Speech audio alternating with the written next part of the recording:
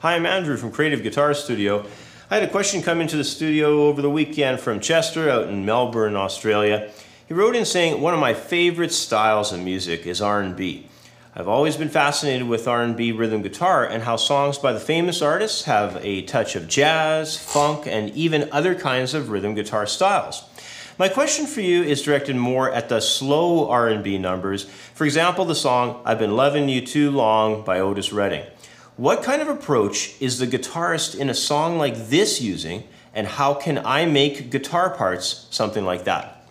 Thanks for all your YouTube lessons. Well, thanks for writing in, Chester. I appreciate the, uh, the uh, email. And, you know, whether it's a slow jam style of R&B or a funky or even jazz influenced R&B, uh, this style is generally recognized as having a footing in gospel music. And you know, gospel's sparse instrumentation, especially with the slow jam approach, really lends itself well to this sort of sweet, you know, laid back type of guitar playing. Now, to get this playing together in your own rhythm work, you'll want to focus on, I think, two main areas.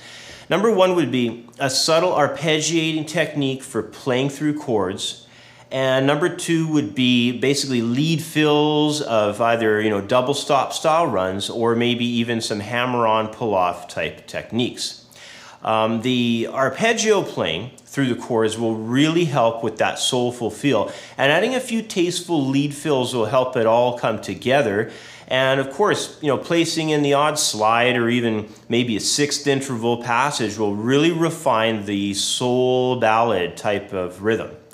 So basically, I want to get started on the lesson by uh, running through an example piece I've written for you to learn. So let's do that right now.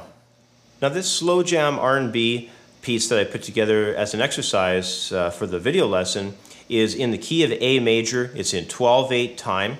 Uh, places a pretty heavy focus on the fifth position six string root bar chord of A major.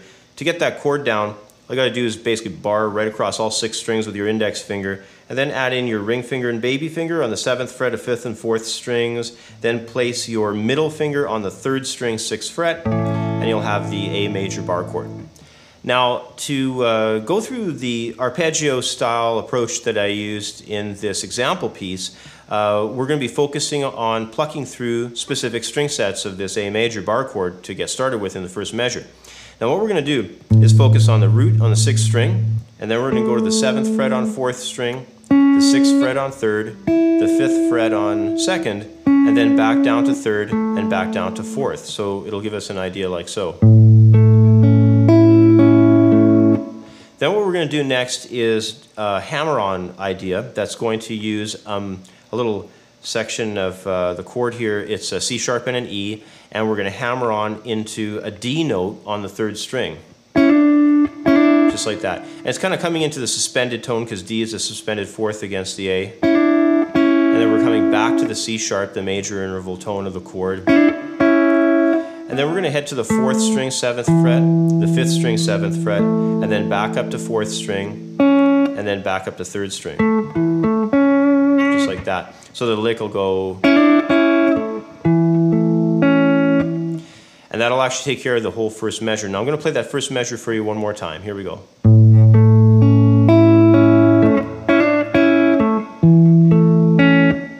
Then we're going to head to the, uh, the D chord, the 4 chord in the key center, and it's just going to be based around the typical fifth string root bar chord. Uh, you know, if you haven't watched the YouTube video that I did on bar chording, maybe just check that out. You can find it on my YouTube channel page uh, there. It's just called bar chording.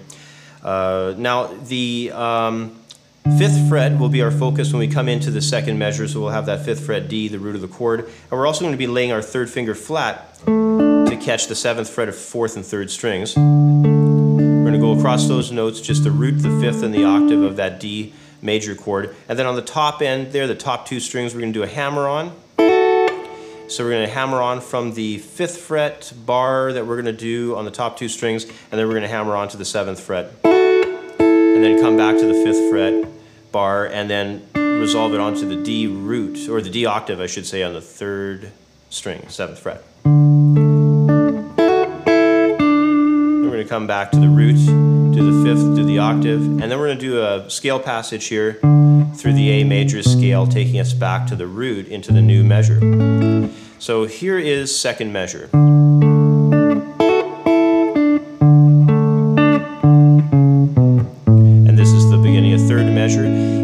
Measure, what we're going to do is just travel back to that A major chord, the bar chord, and we're just going to go across it from uh, sixth string to fourth, much like we started the piece with. We're going to go through those notes once again, and then we're going to focus from fifth string inside the chord shape.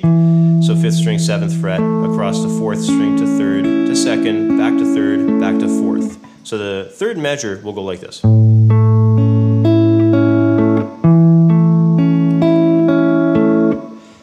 Go to the five chord in the next measure. So that's going to be our E major. And that'll be at seventh fret. You'll want to do a bar with ring finger to catch the ninth fret notes. This is going to be a typical major bar chord off that seventh position, giving us an E major. We're going to go from fifth string to fourth to third to second, and then back to the fourth string. Just arpeggiating our way through that chord. And then on the top end of it, we're going to do a guitar lick very similar to what we had done on the D chord. Coming back around to the root of the E chord there. So just a hammer-on idea on the top strings, barring at 7th fret, hammering on into the ninth fret of 2nd string, coming back to the bar at 7th, resolving on the ninth fret of 3rd string, and then we're just going to drop down there. 4th and 3rd strings, we're going to have a ninth fret to a 7th fret, and then we're going to drop down to a 7th fret to 6th fret, and then a 6th fret to 4th fret. So that's a minor interval to a major to a minor, and we're just doing third intervals inside the key of A major there. So let me play the uh, fourth measure for you now on that E major chord. Here we go.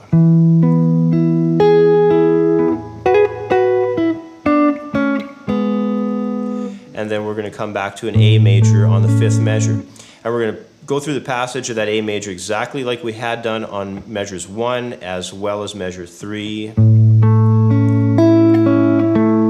Now that's just going to last half the measure and then we're going to go over to the four chord, the D major. We're going to go through it in a very similar way that we had done at the outset of second measure where we take the root fifth and octave and then do the lick and then things are going to change a little bit here now. What we're going to do next is go over to open position, play an A major at open. Actually, we'll just really, in reality, we'll be playing the root open, the second fret E on the fourth string, and then the second fret A on third string. Then what we'll do is we'll play some double stops here. We'll have a third fret D on second string along with a second fret F sharp. We'll drop down on second string to a C sharp and an open first string E. Then we'll add in a B note and a D note at fourth fret of the third string and third fret of the second string. Then what we're going to do after that is jump up to the fifth position and we're going to pluck open fifth string along with a high A note on top at the fifth fret of first string then come into the chord tone of E here on the second string, fifth fret. Then we'll go to, pardon me, yeah, I played a seventh fret by accident there. It's a sixth fret though. We're going through the chord of A. So we're gonna hit uh, C sharp, so five, five, six, going from first string over to third string. Then we'll have a fourth fret note coming in next, that's a B note on the third string. And then we'll go to the fourth string, we'll get a root of A, and then we'll have a sixth fret note coming in behind that, a G sharp. So that uh, measure will go like this. And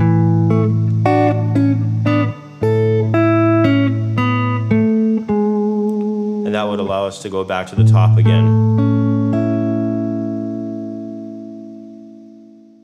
To really get this style of playing down, I think it's very important to do a lot of listening. You know, some of the all-time great R&B rhythm guitar players are guys like Bobby Womack, Steve Cropper, Arlen Roth, um, Cornell Dupree, Curtis Mayfield, uh, you know, just to name a few guys. You know, through searching out and by listening to these guitar players and the sessions that they played on, you're going to get a solid idea of how to capture all of the real subtleties of this very soulful rhythm guitar style. So uh, thanks for watching. You know, be sure to leave comments with some of your favorite soul and R&B artists, songs that you'd like to have people know about, and session players that you think are definitely worthy of mention. You know, the tab for the example piece will be available on my website shortly, so check that out as well. You can follow me on Twitter for lesson material postings. And until next time, take care, everybody. I'll catch up with you on the next video lesson. Thanks a lot. Bye for now.